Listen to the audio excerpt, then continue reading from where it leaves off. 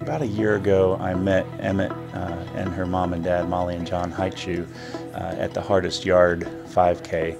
Um, and got to know them well, got to know Emmett well. My daughter Emmett, she is two years old, and because of her genetic diagnosis, she has low muscle tone. Um, she also, with that, was born with half a heart.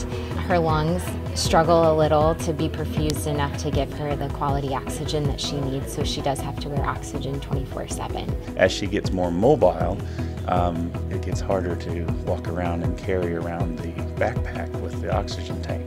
And I got to thinking um, that this would be a perfect project for a 3D print uh, and something that sixth graders could probably wrap their heads around. Being here in Mr. Davis's class and seeing what these students have created in a way to hold an oxygen tank to a walker um, is just incredible to see the excitement and the joy that they had to display the projects that they created. It shows that kids can change the world.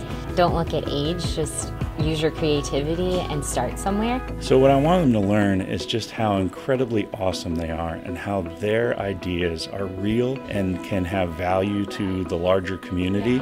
They're just really, really full of wonderful, great ideas and just waiting to come out. And even at their age now, they can still contribute uh, immensely to all of us. Seeing these projects that these kids have created um, for with her in mind, but for the greater good, is just inspiring and, and can literally be life changing for a lot of families in their home.